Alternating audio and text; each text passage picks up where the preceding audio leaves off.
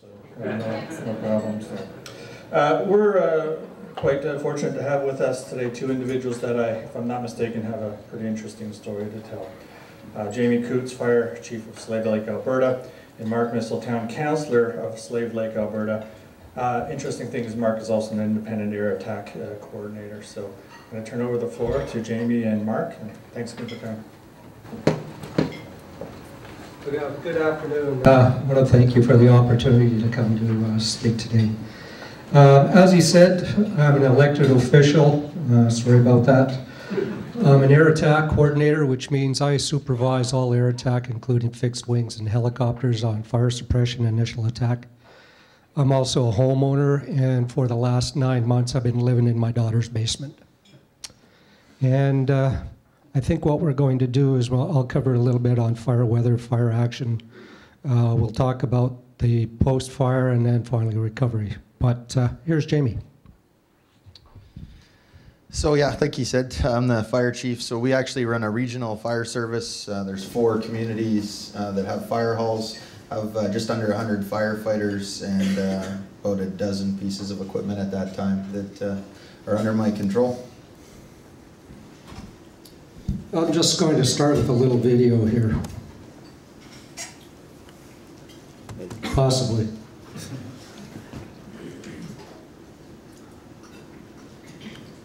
Uh, Nope, doesn't appear to be showing up. Okay, a little bit of a technical glitch.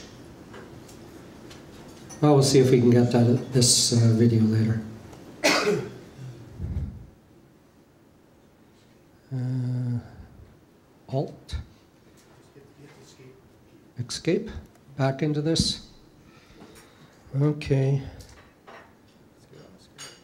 It's good on the screen? Okay. Anyway, Slave Lake fires, May 14th and 15th, 2011. Early spring. Uh, ground is still frozen. We don't have green up yet. And I'm just going to go through a few of the situations that uh, set up for this fire.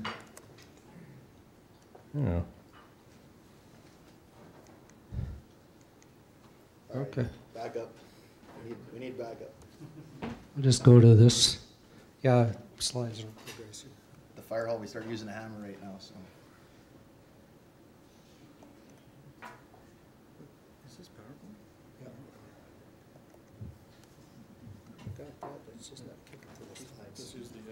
Oh, okay, thank you. Uh, November 2011, RCMP's initial investigation concluded, concluded the cause of the wildfire was arson. Uh, when this statement was released, you can imagine the impact on citizens in the town and across Alberta. Uh, that investigation is ongoing. It's being conducted at such a high level, local RCMP don't even know about it. Uh, a lot of people are being interviewed. Because of all the ongoing investigations, I hope you're sensitive to a lot of questions I may not be able to answer because of confidentiality issues. Jamie, on the other hand, will tell you everything in the world. Okay, we were talking about is this a one off event? This is a 50 year map of wildfires around Slave Lake. Uh, one off, not likely. This town has been threatened by fire uh, significantly in those 50 years. And in fact, most of this has been in the last 30 years. There are wind events, and that seems to be what's driving them. Now, besides the, uh, the bright red, there are current fires of 2011. What's not shown on here are other fires to the south, to the north, that also uh, were causing evacuations. Two years before this, I was involved in the initial attack on a fire with a wind event coming from the west. Uh, that fire was relatively small, but it did run right through a community with the loss of some structures. The wind in that circumstance was reported at 125 kilometers an hour. The lake was still frozen, so it really limited some of the action we could take. For the firebugs in the crowd, uh, this was lookout data uh, from surrounding towers. The major things I want you to pay attention to are wind gusts. In fact, Deer Mountain at one point had reported a gust of well over 120 kilometers an hour. So again, major wind event. Um, ISI's initial spread index, uh, it's no surprise that uh, we had numbers like that. Basically, they're referring to uh, spread per minute. So we talked about fine fuels. These are the things that a fire is going to ignite in and travel in, uh, all extreme.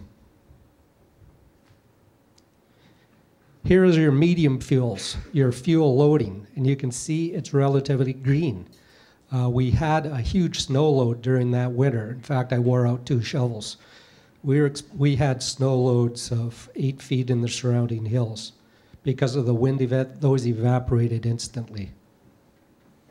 But everything is fairly wet on the ground, in the ground. When the wind stopped, the fire stopped. Rate of spread, incredible rate of spreads throughout the entire Slave Lake area. And this is kind of the uh, fire protection management area for there. Fire intensity, we've seen this one already. Because of those spread rates, we knew we had very intense fires. And we were talking about ranks of fires one, two, three, four, five, and six. Air tankers become challenged at rank four. Rank five, it's pretty iffy. Rank six, give it up. Uh, Slave Lake fires were rank six. So, a couple of slides people may not have seen. On my initial attack, this is what I saw five minutes back arriving on the fire. So we had ignition. The wind is pushing that column down. It's already starting to turn dark gray and black. 15 minutes later, it's up and rolling. You can see the community and residences right in front of it. And this was a kilometer and a half away. 33 minutes, it was into the community, and structures were burning. In terms of advance warning, you can't do much in 33 minutes. Evacuations were uh, called for, uh, road closures were called for, RCMP, fire departments, everything was called for, but 33 minutes, not a lot of time. Okay, I'll just skip past that. Sunday evening, this is what I saw when I took off. One third of the town burning. Um, horrendous experience. You can see how this fire came into the town. Now, this is uh, at the bottom is the east side of town. This fire is traveling east to west. Relatively very little fire across this major highway. However, it started spotting the wind was carrying firebrands, and in fact, the firebrands, uh, probably on some of the most intense fires we've had in Alberta, we are counting firebrands of 30 to 40 per square meter of chunks of fire landing. Now, we found a piece of canvas they did a study on. It was a, basically a six by six canvas. They calculated a firebrand of over 900 hits per, per square meter. So we knew this fire was, was traveling and hopping.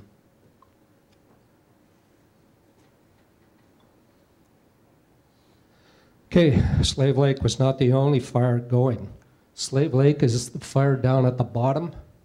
We had a huge fire further up that we had to deal with. That fire went into a community of Canyon Creek, and Wagner was responsible for burning a lot of structures and homes down in there. If you look on the other side, you can see the faint outlines of a third fire over there. What you're not seeing is two other fires to the south and two huge fires to the north that were tying up resources. We went at it in terms of air tanker action. We had 24 fixed wings in the air. Uh, Alberta probably has one of the mo most diverse and largest air tanker fleet in Canada we had pulled every resource off every single fire due to the priority of Slave Lake. And uh, we couldn't catch it. What you're seeing here is a retardant drop from a, uh, uh, it's called an Electra, four, big four engine, 2,500 gallon retardant tank. And uh, this is when the winds had died right down. We're just strictly reinforcing the road. Tactics are run the flanks and then try and get across the head However, with the smoke, we couldn't see targets in there, so it became a very difficult, uh, very risky maneuver.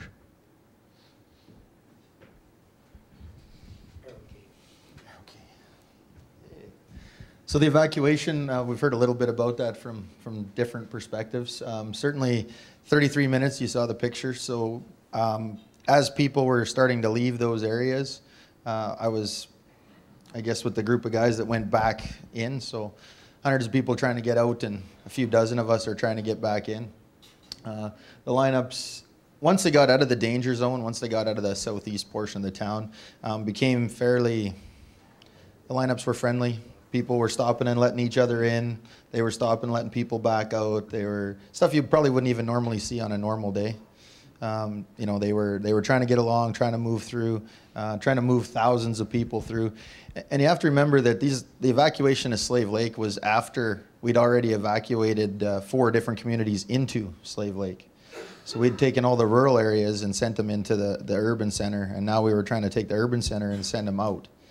So it was, uh, you know, our, our evacuation zone was over 40 kilometers long uh, all along one highway. And uh, during the evacuation, at the start of it especially, um, the smoke and the soot and everything in these areas was uh, extreme.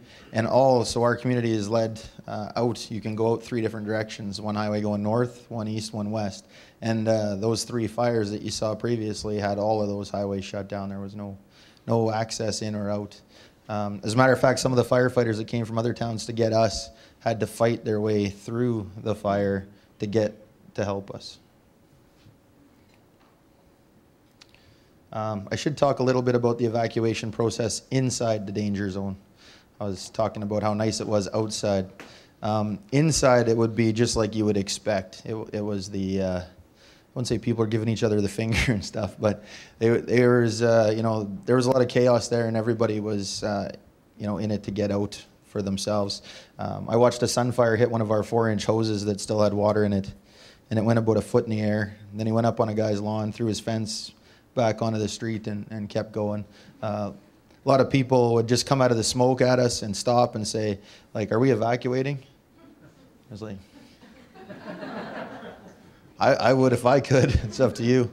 So you know, there's a lot of there were some anger issues, I guess you could say, inside the evacuation zone.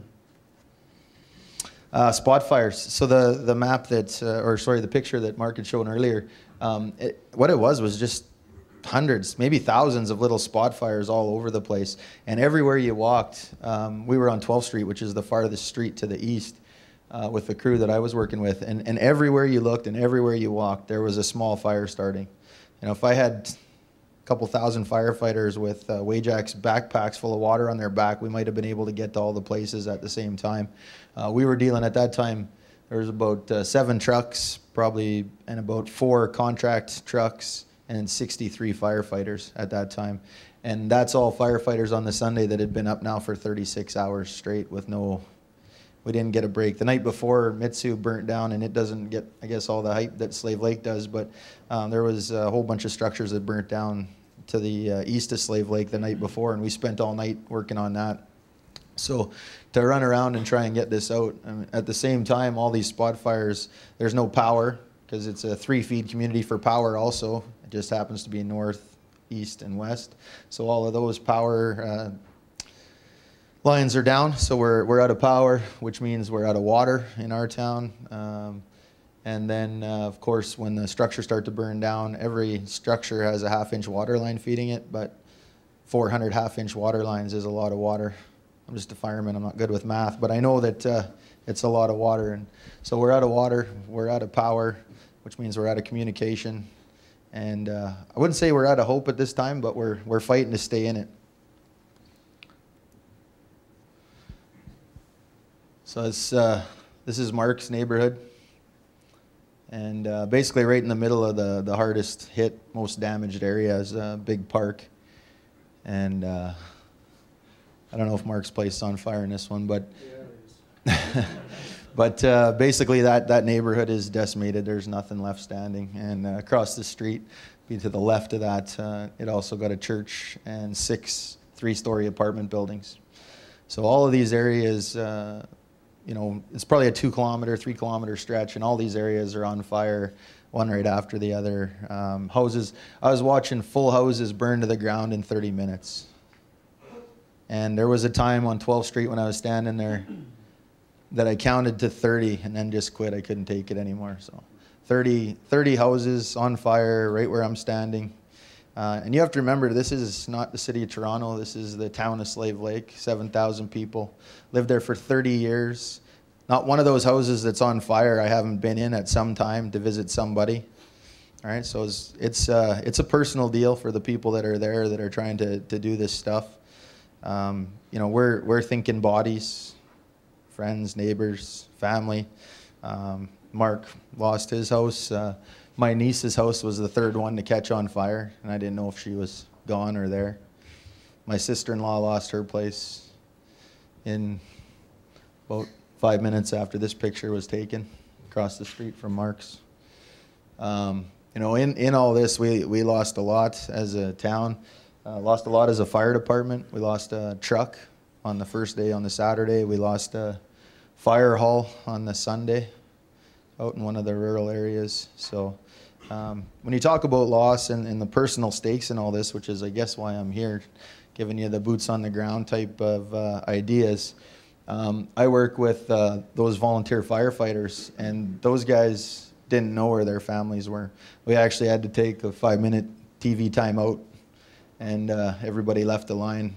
And that just gave them five minutes to find their families and tell them where to go and what to do.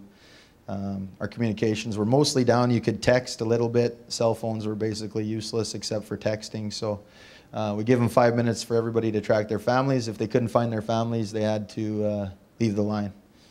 You can't, you can't fight if you don't know what your family's doing. Uh, so this is the, the rest of that block um, burning, and you can see it wasn't one house at a time, it was dozens, hundreds of houses at a time. Um, this is all going on, you know, we're still four streets this way, moving back, trying to get to the edge of it.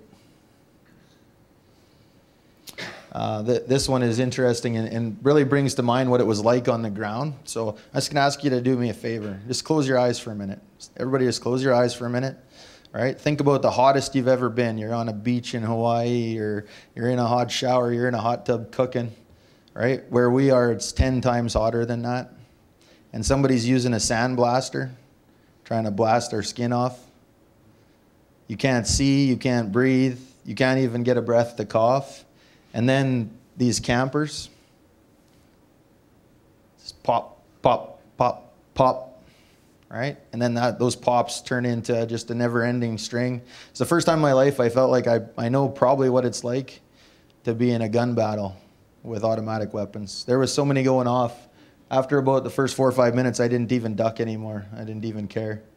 And then the big acetylene and oxygen bottles would start to go off. Then we got a, a call somehow through our uh, radio about a hundred pound keg of black powder. Some guy likes to shoot cannons in his spare time, so they call us up and say there's a hundred pound keg of black powder in this basement. I don't, I don't have a clue what that means. we didn't even go look for it. We just kept doing what we're doing. But uh, those are the kinds of things where, you know, you just don't know what to think or what to do or where to go or where to run, and it's raining down on you. Uh, this is a tough one, I think, for both of us as well. This is our government center uh, that, that was lost fairly early in this fire. Uh, was also our EOC, our Emergency Operations Center. So they left the Emergency Operations Center with uh, bottles of water in their hand trying to, to get away. We had crews working on this fire and at the hospital uh, at the same time. And uh, probably one of the one of the more rugged decisions that had to be made was to try and save this or to try and save the hospital with the limited manpower and resources that we had. We could only pick one. So uh, this one lost. But uh, we did save the hospital. It's, that's still there. Um, but every day, I, I wish I could have saved both. Uh, you know, this is where my paychecks used to come from. Uh, this is where all our paperwork was, all the offices uh, for the provincial government and for the, the town of Slave Lake. Um, where you can see the bulk of the fire, that's our regional library. That building was, what, a year old, give or take? Yeah, we are still working on deficiencies. Uh, so night, day and night was a funny one because uh, I see a lot of pictures, just like you got to see a lot of pictures of blue sky. It's all blue with this big black cloud. Uh, for me and the folks that I work with, we went in there about 3:30 to that black cloud, and we never saw daylight again till the next morning at uh, about 8 o'clock. There was no blue sky where I worked. There was no uh, sun. There was. I actually thought it turned to night at 3:30 and didn't know the difference till 8 o'clock in the morning. Uh, and, and, night was just this, you know, it was more of fires. Um, finally got back to the fire hall and, of course, got some maps out and drew some defensive perimeters and uh, spent the night trying to organize a, a fight of that defensive perimeter.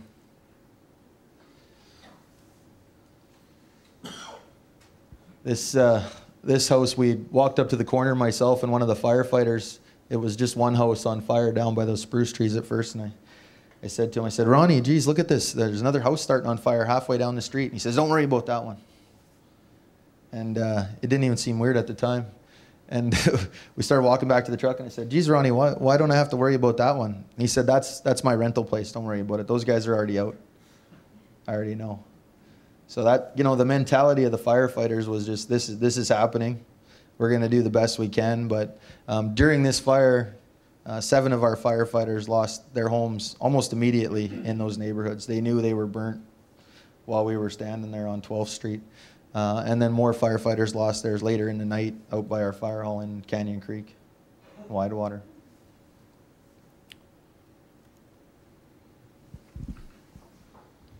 Okay, uh, just quickly, fire closed all three highways in the town. Because of the outgoing uh, group of people, we are evacuating 14,000 people. Uh, we had to create temporary staging areas within town. We chose Walmart, a ball diamond, and the airport. A lot of people did not have enough fuel in their vehicles to leave town. So they were forced into go into one of these evac centers. With the roads closed, uh, same issue was going on. With the power out, the gas stations could not pump fuel. Uh, with the cell towers down and, and, electrical out, we had no cell coverage within town.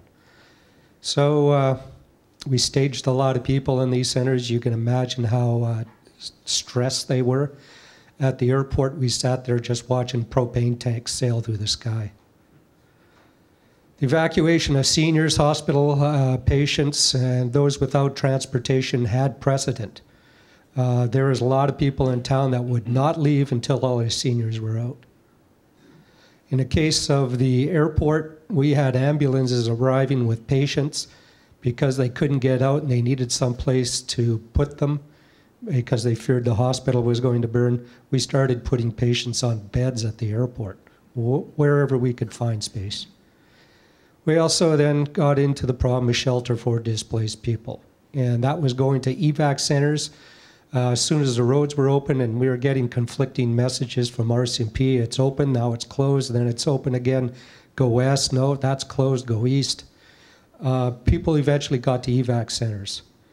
Uh, that was Westlock, uh, Edmonton, Grande Prairie, High Prairie. Uh, if these names don't sound familiar, that's okay. Athabasca, we had over 1,200 people in that evac center. Um, we had such an outpouring of help from across Alberta. It was, it was just amazing to put up with uh, all of us in, in such a stressed environment.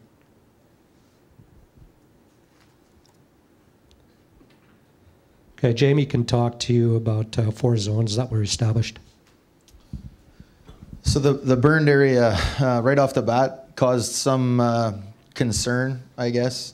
Uh, people were evacuated. We were inside. Of course, took time to have that perimeter. Um, we had 38 fire departments come and over 750 firefighters over about three days um, come to assist us. So as we started to get the uh, the damage under control and hold the line, um, we we certainly uh, had to take our time and make sure that the damaged homes were the damaged ones on the map and the undamaged ones were the undamaged ones.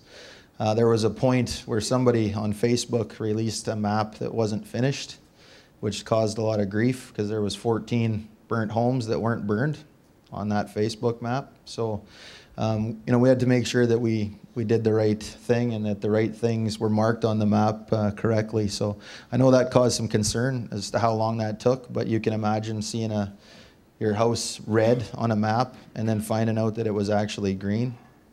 So um, some of that took time.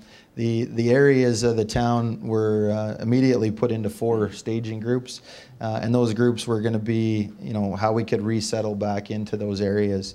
Um, the, the plan originally was five weeks to get back into town, to get people back into town. And uh, due to hard work and planning of a lot of people, we crunched that down to uh, two weeks. Uh, I know that sounds like a lot if you're displaced from your home, but uh, when you're standing in the middle of the wreckage, two weeks sounds pretty fast. Uh, we watched people do things that just can't be done, but uh, they did them anyways. Um, I watched three days of fencing, security and uh, safety fencing go up. Was supposed to take three days of 150 firefighters. It took one night of 100 firefighters. So, um, the, you know, these areas, it, yeah, it took time, but uh, you can imagine with over 30% of your town burned down that uh, those types of things take time. Uh, just a quick comment on this. Uh, we divided the town into four zones. Then we had to go through each zone assessing infrastructure damage before we could allow people in for any rebuilds. That took a fairly long time. Uh, zone one was almost uh, okay because the fire flashed through there so quick, but where it penetrated, burned for a long period of time, we did have utility damage, we did have water sewage damage. Uh, some of it caused by the fire, some of it by heavy equipment in there working. Consequences of the fire, and I'll show you a couple of pictures later on, but our landfill. With the power out for two weeks, you can imagine the houses that didn't burn the condition of those uh, uh, refrigerators and freezers. Uh, they all had to be replaced. We had to set up temporary housing, and temporary housing for about uh, 780 in individuals um, was a major uh, effort. Uh, Slave Lake is built on a swamp kind of, so we had to bring in soil and put about three to four feet of gravel on top of areas that we were putting these temporary housings in. At one point, we were having gravel trucks arriving from 50 kilometers away, arriving every minute and a half. It was a massive effort, and it happened very quick. Uh, so we had a bunch of infrastructure damage to the town. That is still an ongoing assessment. Uh, we are still scoping out lines to figure out exactly uh, how things are. We've had a couple uh, explosions during the construction period when propane leaked into sewage lines and then was ignited, causing uh, a couple ruptured lines and, in one case, shrapnel flying up inside of a rebuilt home. Another problem was their tax roll. We have lost one third of probably the most valuable homes in Slave Lake. Our tax roll was destroyed. We have an issue with volunteer uh, firefighter recruitment. As Jamie said, uh, a lot of these guys are in their first year with not a lot of experience. And this is, if I was correct, Jamie, an ongoing issue, especially when you burn them out in the first week. We have ongoing social problems, and I'll speak to that in a little bit. We've lost a lot of our professional staff, teachers, uh, teachers uh, doctors, uh, other other people, a lot of town town staff too. And we're going through a lot of uh, reconstruction efforts, uh, focused on structures, focused on getting people back into their homes. And we had a lot of vegetation lost. Wildfire tends to do that. We lost our regional library. We lost our government center we lost a lot of RCMP members. In fact, uh, we prob- I think we lost seven RCMP members out of the 13 in the detachment. No place to live. In one case, one of the RCMP, uh, his whole head had little char marks on it from standing there during the evac, uh, flagging traffic, getting them out of town, even while embers were landing on his head. We've lost 20 teachers, and that has had a major impact right now on the uh, schools in town. And a lot of schools are under a lot of stress. We've lost five doctors. Again, out of 12 doctors, we've lost five. Of the doctors, eight lost their homes. We've lost municipal workers. We've lost families that have left the community and are not returning. The overall goal, right from the get go, was to return Slave Lake to the same condition with the same population as before. This was a commitment from the Alberta government, and uh, the effort's been astounding. They estimated the time frame for this is five years. The estimated infrastructure redevelopment is seven years. We figured five years to get everybody under a, under a roof and get it up to the same uh, population size as before. Of course, then we have infrastructure. Even once the rebuild has gone on, we have to go reassess every single road, sidewalk, uh, crossing, you name it, in town. A lot of that will need replacement, way over our capital plan.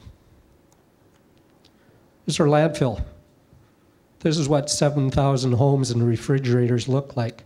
Our landfill was designed for a five year model. We're down to one year now because of this sort of stuff coming in.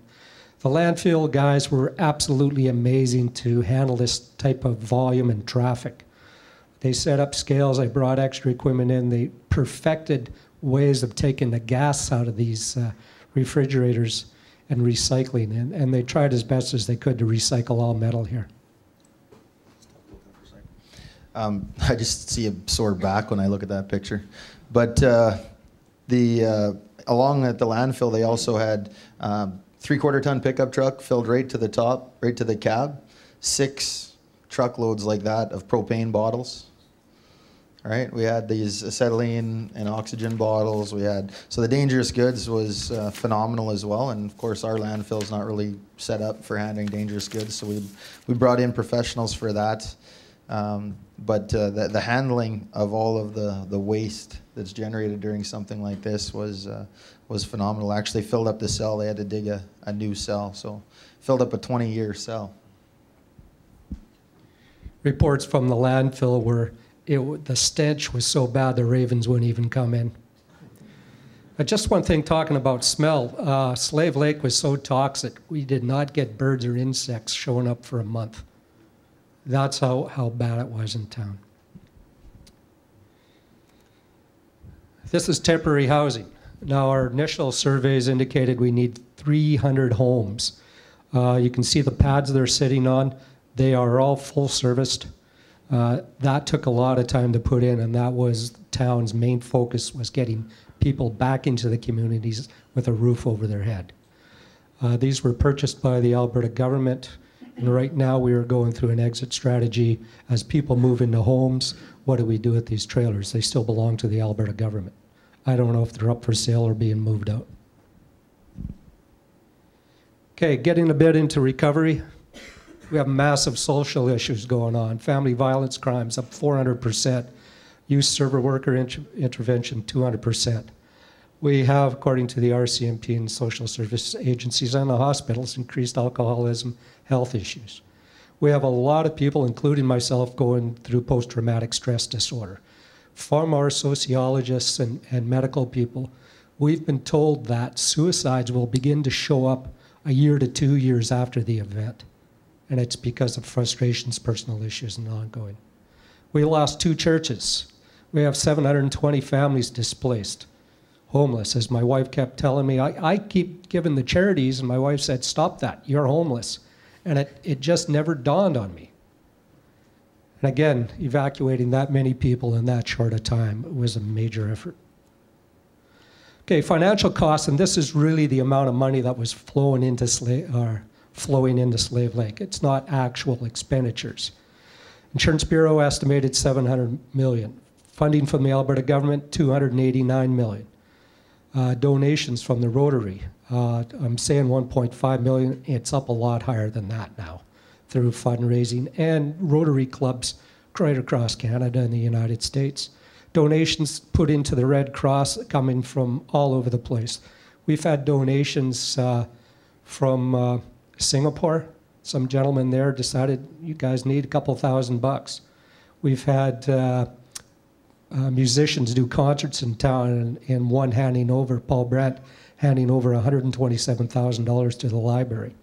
We've had a 12 year old girl up in Yellowknife running a uh, lemonade stand that donated all her money to Slave Lake. It was like $130. This type of thing just went on over and over and over. again, and it, it's still happening. In terms of uh, physical donation of clothes and stuff like that, I, I can't remember how many 18 uh, wheelers that we had. It was way more than we could process. And we started using one of the forestry uh, mills to start storing, uh, selecting, going through the stuff, and then trying to distribute. At the end of the day, was 30 or 40 uh, tractor trailers we could not process and had to turn around someplace. We still knew that certain communities still had like 10 units still sitting there. Uh, private donations, this is coming in from the oil patch, this is coming in from all over the place. We're estimating at 12 million. I've just heard uh, another 10 million dollar donation coming from a, another organization. So overall, we expect expenditures and uh, being spent in Slave Lake to be over a billion dollars. Restruction zoning, I talked about this uh, before. Uh, key point is, to date, we've given out 170 building permits. 74 houses are now under construction. Myself, I probably was one of the first 10 uh, to move in. My construction on my house did not begin until September 1. Uh, my first check from the insurance companies arrived in October, November. I had the finance to rebuild myself until that happened. I, uh, as I said, I lived in my uh, daughter's house in the basement with her boyfriend and her up above, and it was at the least awkward. Uh, after nine months, we moved into our house about two weeks ago. We have housing challenges, as I said. Uh, originally, we were estimating 370, then it was down to 300, then it was down to 250 um, then it was down to 200. These people found alternate accommodation with family, with friends in the basements of their children um, out of town. I mean, a lot left. There's, there's no way I can go against that. Uh, we established four different development areas for these temporary trailers. One we call Phoenix, uh, 140, Fournier 78. You can see we started wiping out bush, wiping out ball diamonds, wiping out recreational facilities in town. And uh, these are still things we have to go through in a reco recovery to replace. Structural losses. This is town only. I'm not talking about uh, what happened outside of town. 289 structures. Two churches, one bar, six apartment buildings, one library, government center, and five businesses. You can choose the priority, what was most important. Some people are crying over the bar, some people are crying over the churches. Nobody's really crying over the government center. I don't know why. Reconstruction um, of the 389, 309 houses have been through their demolition. Six lots have been abandoned. We cannot even locate the owners. Uh, 74 houses are now under construction, and as I said, 170 burn, uh, building permits have been handed out. I'll let Jamie talk about these. The uh, it's still in that neighborhood on the bottom right. Um, when you go in there, I d- I don't know if we remember if we brought any pictures of some of the reconstruction that started there, but um, you're, you're looking at the third of a town burnt to the ground. Right. Uh, this is this is a few days after uh, we lost the last house on Tuesday afternoon. So it came into town Sunday. Um, you know, I think a lot of people think that it just came into town and burned a bunch of stuff down and then quit. Um, we had fire departments there helping us for over two weeks, uh, still trying to control what was there. And again, the town was just part of it. It was a 40 kilometer long stretch um, that uh, we lost houses to the east and to the west. Uh, it burnt around the town to the north into the provincial park. So it, it was a widespread. Um, our area of responsibility is 10,490 square kilometers, and uh, probably about 800 square kilometers of it had some kind of fire damage. So it, it's a big area, uh, a long uh, area with uh, lots of different fires going in it. And to go into that when it was on fire was one thing. To go back in when it wasn't on fire was quite another. Uh, it's still, uh, I start every day dropping my kids off at school, which would be just to the right to that picture. and then driving through the zone to see how the construction workers are making out and see if we got any new starts or any of that stuff. So um, it, it's tough to tough to look at. Some of the areas that are tough for me, I'll just point out. Um, right there was my niece's house. Right there was my sister-in-law's house. That's Mark's place. So, um, you know, to go back into those areas all day, everybody kind of talked about the psychological effects, and uh, um, I, I put it this simply: just that's how firemen are. We're all broken, and I don't know if you get fixed from something like this. So you, you know, a piece of your your brain is broken, or your heart, or wherever you want to say it's from. But uh, I, I don't know if you ever fully recover from that. For us, you know, the dawn of a new fire season is just days away in our province. Uh, they started early, and uh, you know things have changed, but it's still right there. Um, you know, we hear the one of. I'll tell you what, I don't buy that for a second. Um, do I think our town's going to burn down again? I sure hope not, and uh, stake a lot of what I do and what I am on that. But uh, there's going to be others. We gotta we got to pay attention here. Okay, I'll go through these next slides pretty quick. This is what a basement looks like burned. You can see uh, just about everything incinerated in it. There's people with fireboxes. Uh, they left the fireboxes, all their personal stuff inside. Fireboxes aren't designed for this intense burn. They're usually designed for 15 minutes. Most of the fireboxes were okay, but everything inside was incinerated. That includes insurance policies. Uh, this is my house.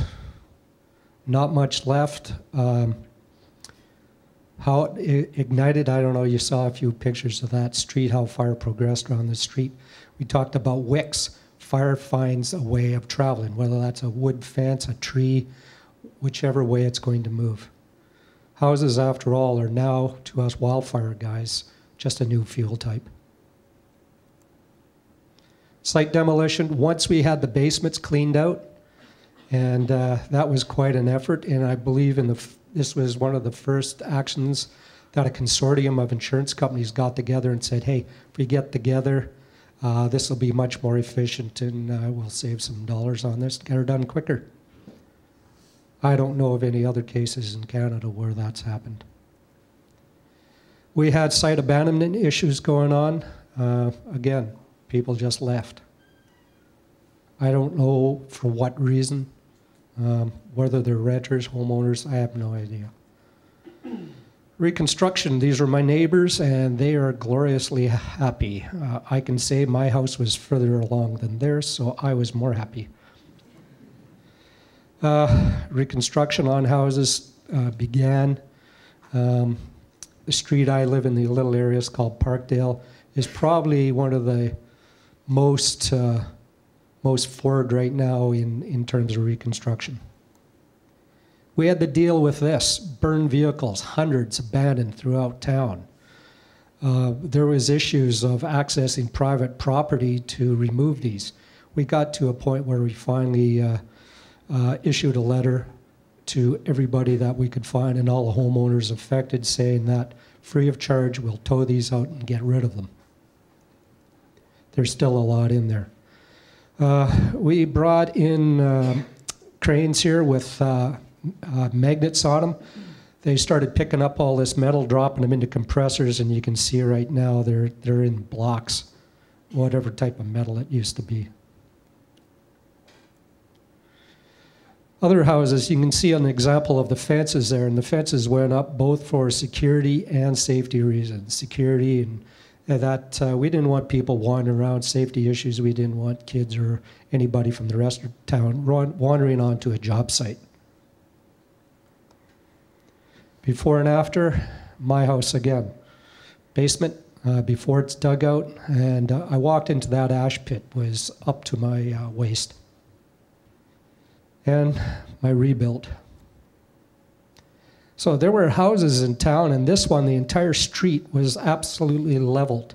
This house survived. Uh, melted a little bit of siding, but who cares? We now have issues in town where uh, one house survived on a street or two houses burned on a street, and the people around saying, How come they get brand new houses? It, it's just part of survivor psychology. Uh, you'll see in the front window of this these signs, and we created these signs uh, as a way of letting the utility companies know who needed gas, who needed power, who needed uh, water hooked up. Uh, once it was hooked up, they started pulling off the signs, and it was a quick visual for these utility companies to work through.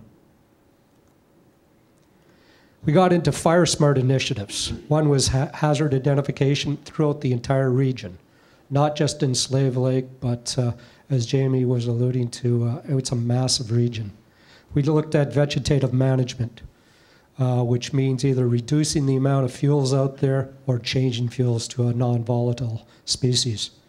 We looked at additional fire suppression equipment, and I think Jamie can talk about all the resources that have come in to help him. We looked at additional egress routes both in and out, and we're still getting comments from citizens. Uh, because of the evacuations in the line of vehicles, they felt that if they're behind more than two vehicles, it was not acceptable. I can tell you during the evacuation, not a single person was hurt. It was very orderly.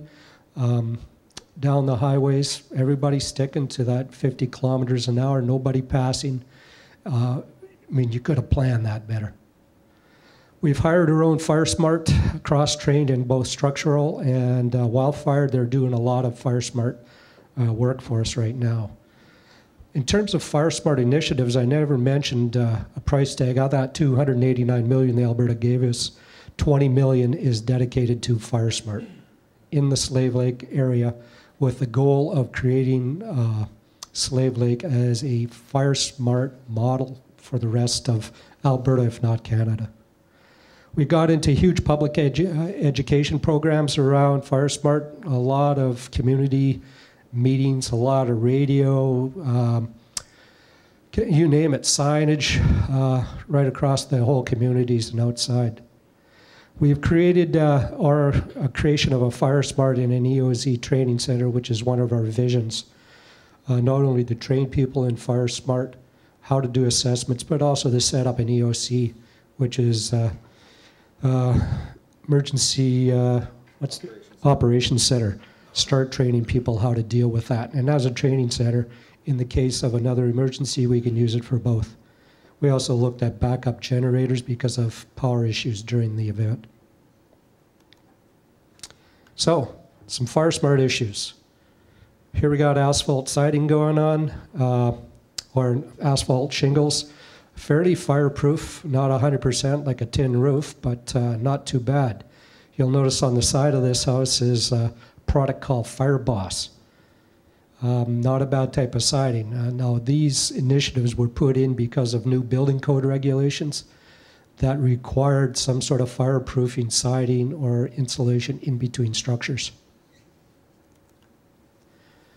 Somebody heard about the pink houses showing up all over Slave Lake.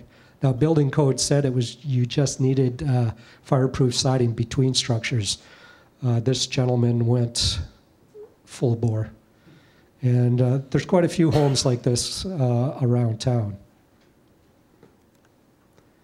This one is a cement board. Again, my place. I mean, I've seen enough fire. I wanted the, the most fire protection I could. So I've actually got fire boss, boss underneath that cement siding over top. And uh, to me, the uh, cement board uh, provides a level of soundproofing and uh, it actually raises the R factor in a, in a house. So I've, I've been just overjoyed with this product. So, challenges accommodation for workers. Initially, we were told if we were going to have a rebuild of 300 and whatever structures, we needed 800 workers to do this in a year. Not feasible. We do not have the capacity for that many workers, housing for them, food, anything for them. We looked at 400 workers. We were told 400 workers and tradespeople, two years still impossible for us. We still have industry around town, workers around town that need accommodation, and we can't hold back. So we're trying to balance out accommodation. Again, with temporary trailers, we're considering being able to move our tradespeople into this temporary trailers as they're coming available.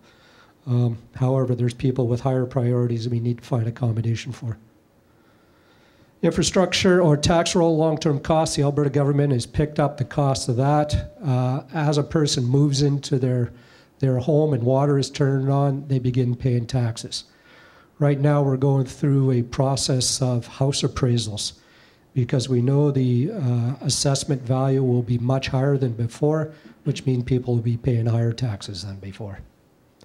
And that's a bone of contention. As an elected official, you get earfuls on that one. Uh, infrastructure, again, utilities, roads, sidewalks, all of it needs replacement or at least uh, some sort of scoping out for evaluation. Social services, we're bringing in extra people if we can find accommodation for them to help with the kids, help with families, help with seniors. Just about everybody I know who lost a place is going through some form of stress. Um, this will be a long, ongoing process.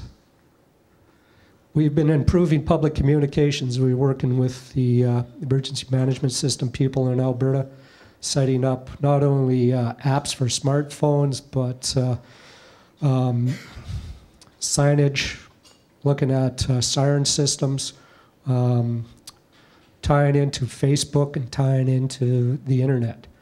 Uh, social media was so far beyond what we could do. There was more pictures of fire during the evacuation are posted on uh, YouTube then we could keep up. And as we know about social media, uh, eventually social media became uh, fact.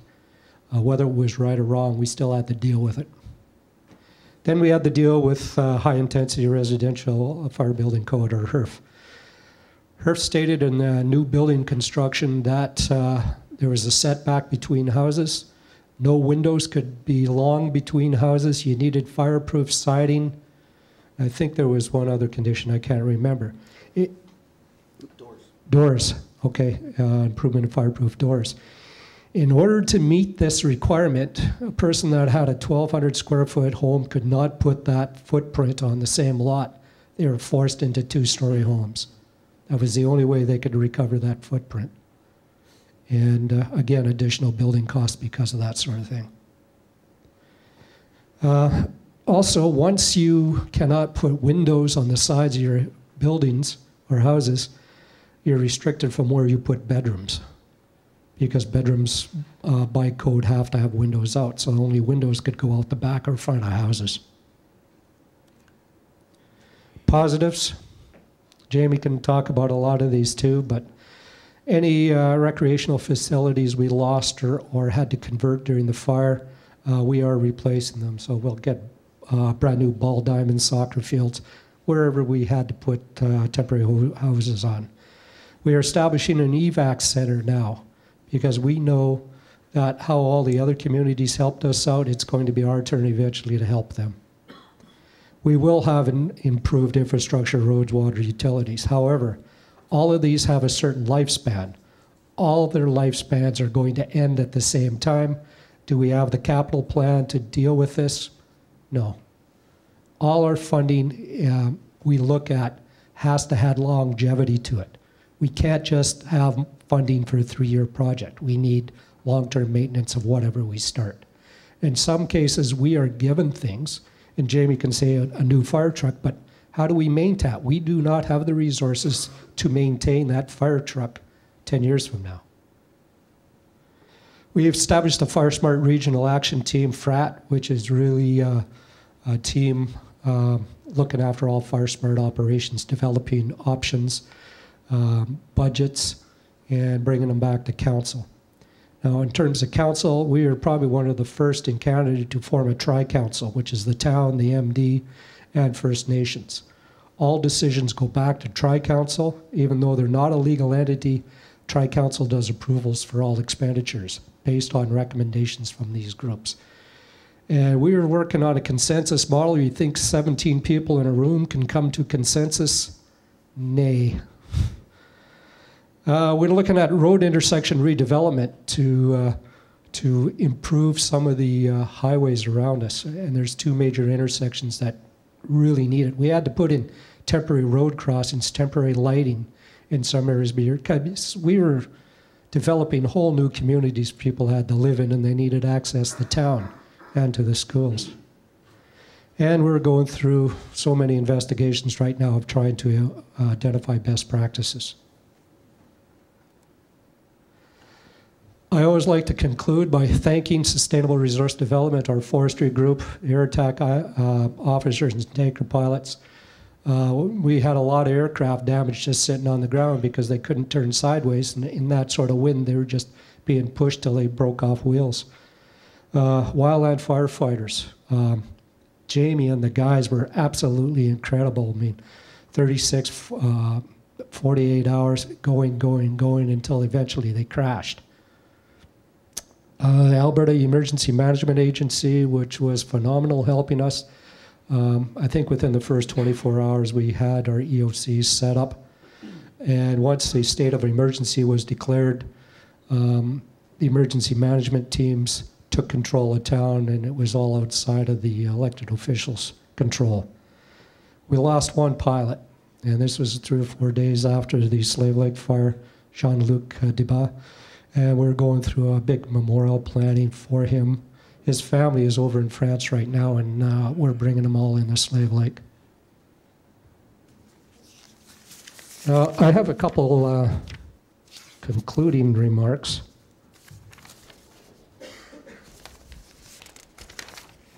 And then I'll let Jamie actually talk a little bit more. And a few words, yes. Uh, to conclude, I mean, there's been a lot that's going going on. We need more funding to keep this thing going.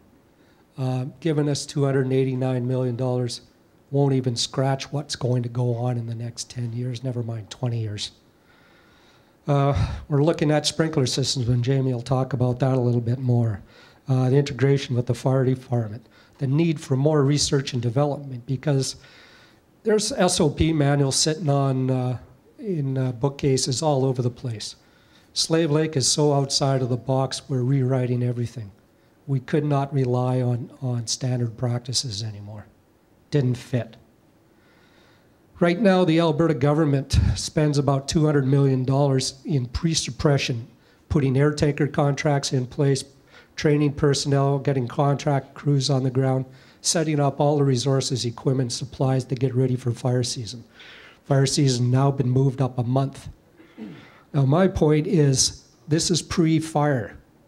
What are we doing about post fire? We spend a lot of, uh, of money getting things set up for our initial attack on fires once the fire starts. my question to all of you is what you can do to help us get ready for fire and mitigate any issues that we're going to have. Why spend $200 million to fight a fire when we could spend some millions uh, preventing it. So with that, I'll turn it over to Jamie. I'm just looking at the timer here, watching Glenn freak out. So the uh, I, am kind of thinking he's he's got it, and there's probably some questions. So why don't we just start with that, Glenn, and that'll give us a couple extra minutes for that. Thanks.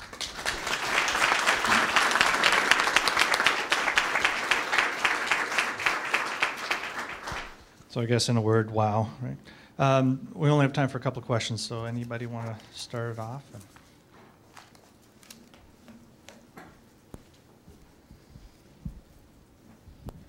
First, um, I just want to thank you for an excellent presentation. Um, I'm involved in disaster relief uh, work here for the province, and lots of lessons learned. My question is, you've done a lot of uh, fundraising, I shouldn't say fundraising, you've received a lot of uh, donations and funds coming in.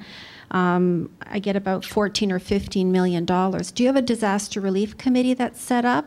Uh, what's the claims process? How are you getting that money out to those that need it?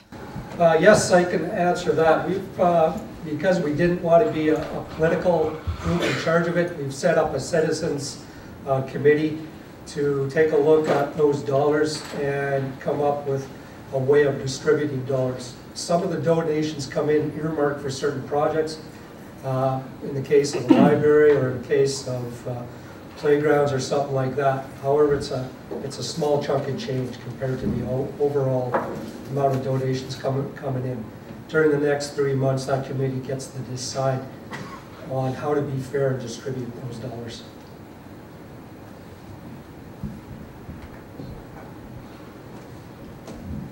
Um, With so many wildfires that have threatened Slave Lake in the past, um, and I keep hearing that Slave Lake wasn't uh, practicing fire smart principles, um, my question is, why wasn't it, and will you be in the future? I got some quick answers. Yeah, I'll answer it. Money. Same reason that lots of things don't get done. Um, Fire Smart costs money, millions of dollars. Um, In our province, they set aside $2 million a year to handle Fire Smart. And that doesn't divide by all those communities very well. So um, are we practicing it now? Absolutely. We got $20 million put towards Fire Smart. So there's a lot of pressure on us. Uh, I would say that the world is watching what you do with $20 million to, to make a model fire smart community. So we're working with the province and, and the local folks to try and make sure that we get uh, the right stuff done and to figure out what the right stuff is. There's some people we work with here today, Partners in Protection. You know, fire smart, uh, it, it was a word we always used and we did what we could do, maybe 50,000 a year, 100,000 a year, whatever money we had. Um, but now we're spending 20 million, so we're, we're doing the best job we can in the shortest amount of time possible, but uh, it takes time to plan that out and decide what the best practices are, and then to put them into place. Uh, For example, our veg management's about eight million dollars, so it takes a long time to cut down eight million dollars worth of trees um, in a swamp. Uh, I was, from an air attack perspective, I was never a believer in fire smart. Uh, Once a target smokes in, I can't see what's going on, I look at spotting, and I know I need a quarter to a half mile of open area to fight a fire. Uh, We're designed to fight that 90 percentile uh, violent fire. Slave Lake's been hit by those 95 percent things. I now believe in fire smart because anything that mitigates those, those lower energy fires gives me a chance. One more?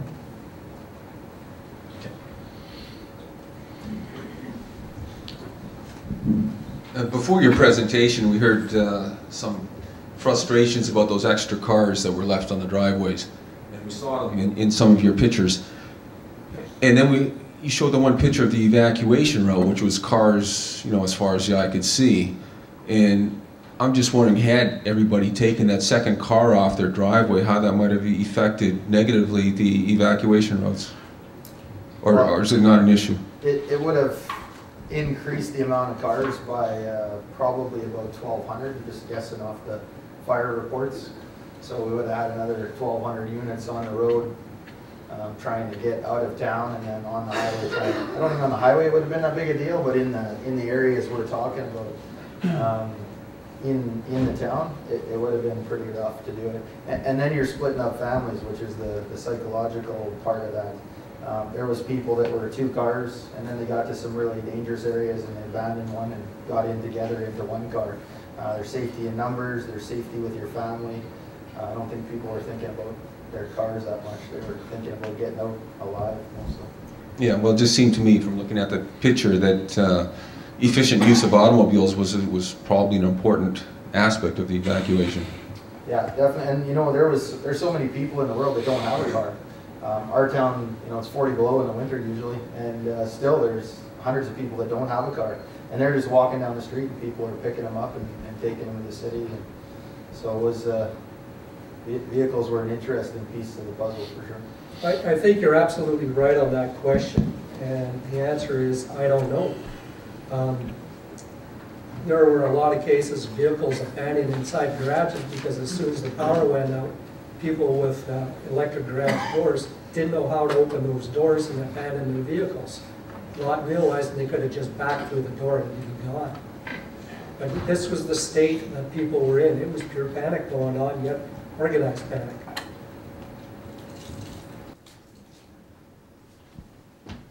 Great, thanks, guys.